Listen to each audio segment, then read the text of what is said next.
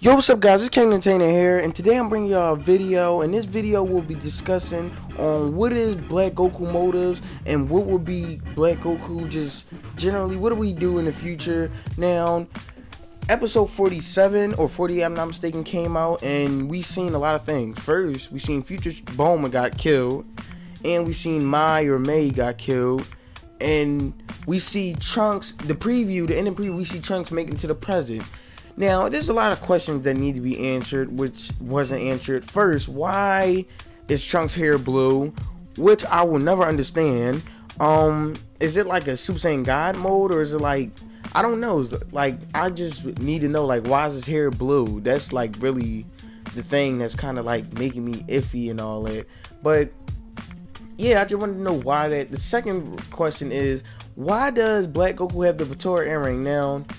This could tie into somewhat Xenoverse. Now I'm explaining why. Now, the reason I believe that he has the blue Potara earring is because what if, as you see on Xenoverse, Demegra or Demigra, yeah, that's how you say his name. Demigra had the Potara earring too on his left ear, and Black Goku has it on right here. Now I don't know if this means any significance whatsoever, but it could just be like a little theory that's happening. Like maybe it tie, this ties in the Xenoverse. We might see Towa and Mira and all these guys and Demigra, and it might just tie in because all the universes and the time travel now and all that other crazy stuff.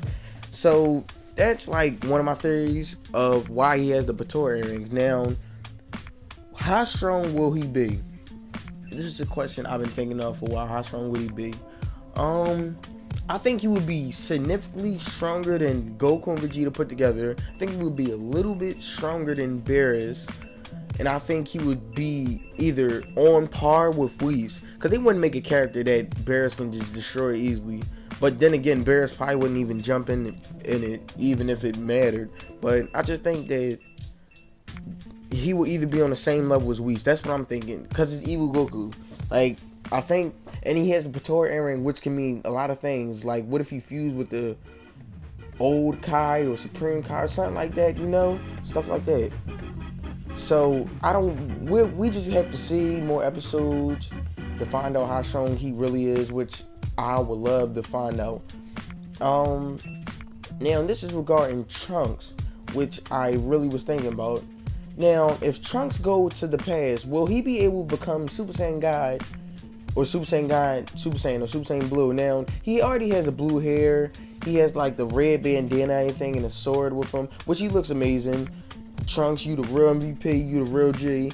But um, I was just wondering, like, will he be able to turn Super Saiyan Blue, or like, what is like what is going to be happening? Like, will he like, will it be like another Cell games repeat where he gets stronger in the past, and then come back to the future and try to probably like fight like fight Black Goku, or will he just like go to the past, get Goku, Vegeta, Beerus, and Whis, and probably take them to the past? Like, how would this work out?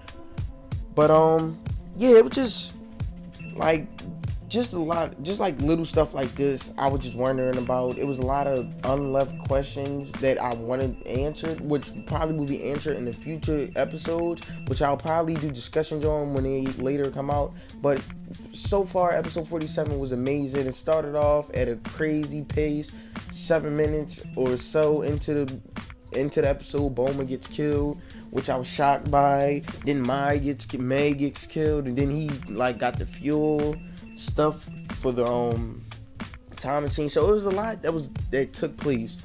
But um yeah, let let me know what you guys think. Leave a like, comment, tell me what you guys think about Super. Do you like for episode 47? You don't.